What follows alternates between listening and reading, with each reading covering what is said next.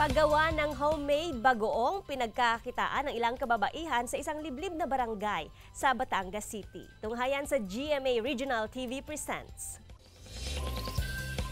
Sa isang bahay na ito sa Barangay Talahib, Pandayan, Batangas City, ginagawa ang isa sa ipinagmamalaking produkto ng barangay, ang bagoong. Mula sa mayamang karagatan ng lungsod, hinuhuli ang mga isdang dulong, dulis at tamak na siyang ginagawang bagoong. Ilalatag ang mga ito sa isang net para patuyuin ang bahagya. At kapag natuyo na, maaari na itong timplahan ng dalawang tabong asin saka ilagay sa isang tapayan.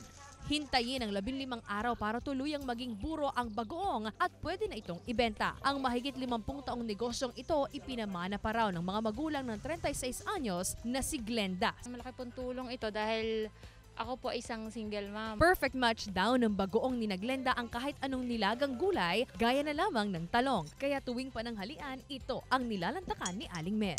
Kahit sa simple raw kasing pagkain, mas sumasarap kapag may bagoong ring nakahain. Masarap po siyang kaulam ng kanin, lalo na po kung may talong na nilabon. Mabibili ng 30 pesos ang kada bote ng bagoong na dilis at tamak habang 40 pesos kada bote naman kapag dulong. Denise Abante para sa Mornings with GMA Regional TV.